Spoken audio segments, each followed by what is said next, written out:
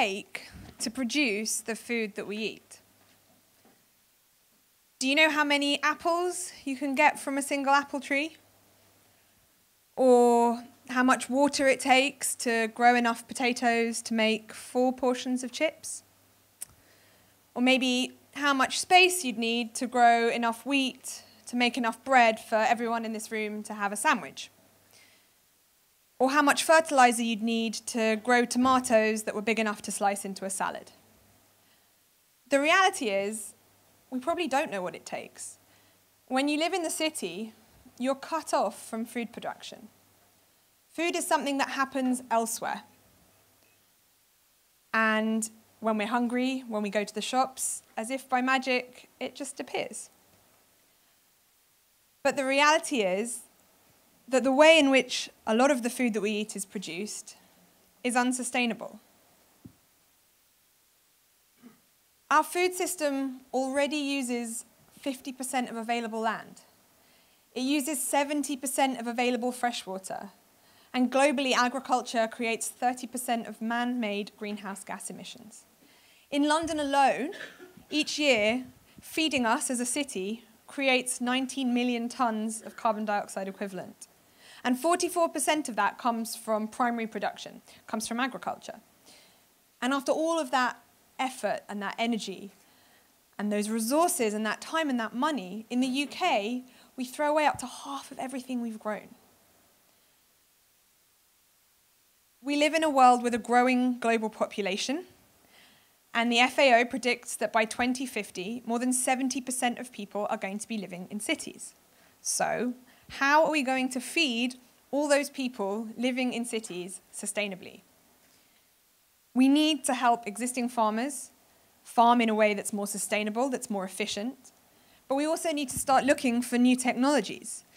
Last year, the University of Sheffield carried out some research that suggested that the soil in the UK has only 100 harvests left in it until it's depleted. So, this isn't something that we need to be thinking about for the future, it's something we need to be thinking about now. We need to think outside the box of how we're going to feed people and think about what innovation is available to us. Actually, today I'm going to talk to you about something that happens inside a box that we think is a technology that's part of the future of feeding people. It's a technology called aquaponics. Aquaponics is a combination of two well established farming practices aquaculture, farming fish, and hydroponics, growing in a nutrient solution without soil. So we take the waste from the fish farm and we pump it through to hydroponic growing benches these benches are stacked vertically, and at each level, the plants have exactly the right conditions that they need to grow well. We control the light, the water, the temperature, the humidity. The plants then absorb the waste nutrients from the water, clean the water for the fish, and the whole system recirculates. We don't use any chemical fertilizers or pesticides, and because we're controlling the environment, we can grow a consistent quality and quantity of food all year round. Aquaponics isn't a new technology, it's been around for a really long time. Hundreds of years ago, in the rice paddies in China, farmers would flood their fields and they would put fish uh, into the fields. The fish would eat the bugs, they would fertilize the plants, and then the farmers would drain the fields and they'd have rice and fish with which to feed their families. So, we've got the technology. Now we need a business model that makes sense if we're going to grow this food for people living in cities. Now, it doesn't make sense to grow everything in the city. Take something like corn or wheat, for example. Those products need a lot of space, but they can also be stored and processed and transported quite easily. What it does make sense to grow for the city, in the city, is something like lettuce, or rocket, or coriander, or basil. These delicious and healthy vegetables and herbs that should be forming a part of all of our daily diet. Now, in aquaponics, you might be thinking, would I really want to eat something that's been grown in, using this technology? Would it taste better if it had come from good old traditional farming? But the reality is, in our industrialized food system, lots of the fresh produce that you buy from supermarkets is being grown hydroponically and being grown reliant on fossil fuel based fertilizers. That food's being grown a thousand miles away and it's being grown so that it can be transported all the way to your supermarket shelf. which means it has to be grown to survive that journey and to be the right shape and size to look okay on the supermarket shelf once it's got there. So taste is pretty much forgotten.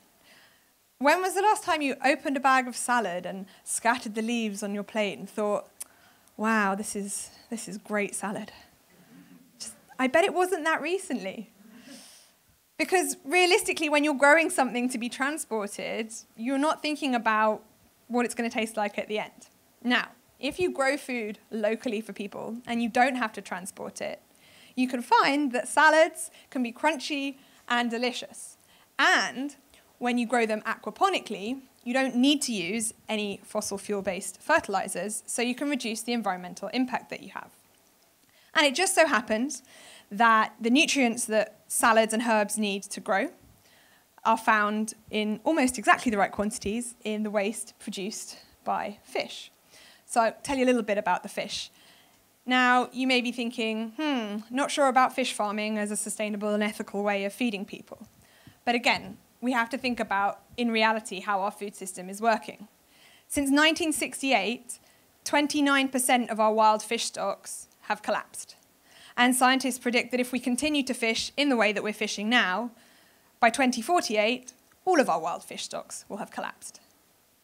Recirculating aquaculture, the type used in aquaponics, if done well, can represent a viable way of producing sustainable protein for local communities. Take the fish that's farmed most commonly in aquaponics, tilapia. It's a mild white fish. You may have had it before in curries. It takes on flavors really well, and you can use it in lots of different cooking.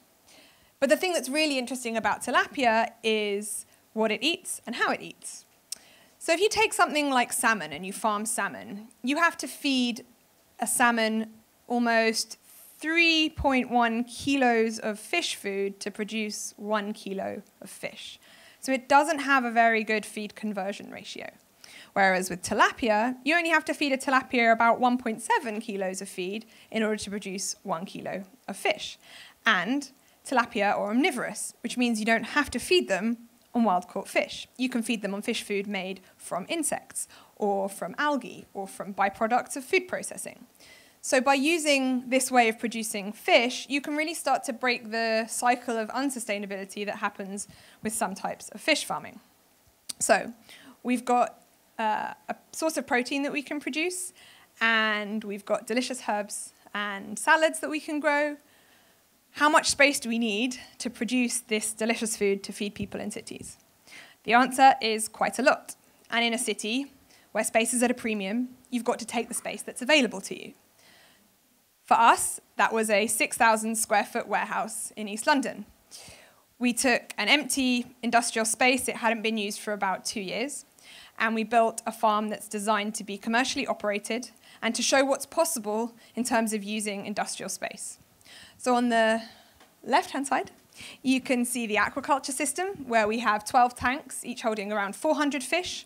The water circulates through those tanks and then into the filtration system. In that filtration system, any solid waste can be removed, and the biofilter converts the ammonia from the fish waste into the nitrates that the plants need. The water then gets pumped across into the hydroponics area, where we're controlling the whole environment to create the best environment possible for the plants. Once we're ready to harvest, we uh, deliver a bioelectric van to our local customers. And on a farm of this size, can produce around 20,000 kilos of salad and 4,000 kilos of fish every year. Now, that sounds like quite a lot of food, but actually, it's only enough to feed 3,000 people. So even though this farm looks huge, we've still got a long way to go before urban aquaponic farming can start to have a really significant impact on food production. But it does need to. And the great thing about this way of farming inside a box, inside a warehouse, is that you can do it anywhere. You can build these farms in any city, in any part of the world, and you can grow local food to local uh, demand on farms that have been specifically designed to grow what's needed locally. Uh, and if you want to build more farms like that, you need to have people to run them. Now, um, we can't go out and just hire people with a GCSE in urban farming to come and work for us. So we've designed our own training program. And we're hiring young people from the local area to come and work with us so we can teach them about fish husbandry and horticulture, customer service, and what it takes to run a sustainable business. It's really important for urban sustainable food production to be part of how we fix the future food system. But it's equally important that if we're going to create sustainable cities, we're creating jobs and training opportunities. And that's where urban farming has the potential to play a huge role in developing these cities of the future. So, why is it important that we're developing those cities of the futures? Well, as a reminder, they're the places where the majority of the world's population is going to live. So, we have to be creating places that people want to live in and that can support themselves sustainably. Urban farming has the potential to create cities where collaboration is encouraged all along the supply chain, from developers through to local councils, through to retailers, through to, most importantly, the consumer, you at the end. Because when you build farms in cities, close to people, and you give them access to see how their food is produced and what it takes to produce it, you reconnect them with the whole story of their food. And when they're reconnected, they're much more likely to make better choices about the food that they buy and they eat. We're trying to create a food future where the salad, the delicious salad that you had for your lunch, has been grown just next door and where you can find out exactly how the sustainably farmed fish fingers that you're about to have for dinner were produced. Thank you.